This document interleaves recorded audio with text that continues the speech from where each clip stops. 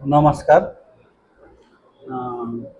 बडा दुःखको साथमा भन्नुपर्दैछ कि जयगाउँमा हामीले पोलिटिकल हिंसाहरू मात्रै देखेको थियौँ र साथै साथ एक दुई खेप यहाँनिर कम्युनल झगडा पनि भएको तर अहिले हाल फिलहालमा जुन चाहिँ मिडियामा जुन चाहिँ देखाउँदैछ कि दुईवटा मिडिया हाउस आपसमा जुन चाहिँ लडाइँ गर्दैछ यो एकदमै नराम्रो हो। किन भनिसकेपछि मिडिया भनिसकेपछि निष्पक्ष हुनुपर्छ। र मिडियाको काम के हो भन्दाखेरि हेर्नुहोस्।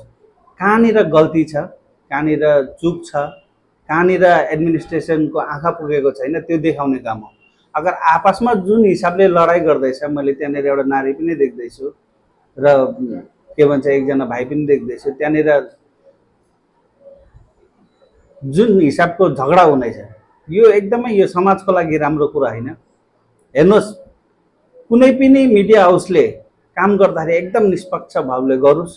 किन भन्दा यो जुन चाहिँ घटना भएको छ यसको हामी घोर निन्दा गर्छौँ। यस्तो झगडा चाहिँ नहुनुपर्ने हो। जयगाउँमा हामीले हेर्नुहोस् अहिलेको समयमा जस्तो परिकारको एउटा परिवेश बनिएको छ र कोभिडको बादमा यहाँनिर जो हिसाबले यहाँनिर जयगाउँको मान्छे सर्भाइभ गरिरहेछ। अहिले मिडिया नै त हो जसले यहाँनिरको समस्याहरू सबै देखाउँदैछ। अगर आपसमै लडाइँ गर्नु थाल्यो र आपसमै यिनीहरू मिलमिलाप रहेन भनिसकेपछि मिडिया हाउसमाथि पनि एउटा शङ्काको नजर र एउटा मतलब यहाँनिर एउटा दाग लाग्ने कुरा हो। आज पोलिटिकली हुनसक्छ पोलिटिकली मतभेद अर्को हुनसक्छ र हाम्रो विचारधारा अर्को हुन्छ। त्यस कारणले हाम्रो बिचमा अलिक अनबन हुनसक्छ। तर पोलिटिकल जुन चाहिँ मिडिया हाउस छ मिडिया हाउसमा त त्यस्तो खाले नहुनुपर्ने।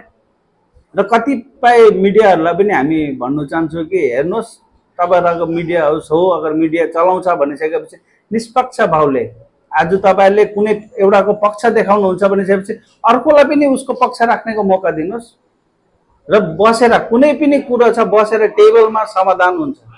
त्यसरी बाटोमा उफ्रेर अगर झगडाहरू गरेर तपाईँहरू आफूले आफूलाई नै कानुन हातमा लिएर तपाईँले अगर यो के भन्छ हल निकाल्नु समस्याको हल निकाल्नु खोज्छ भनिसकेपछि यो मिडियाको लागि एकदम कालो दिन हो।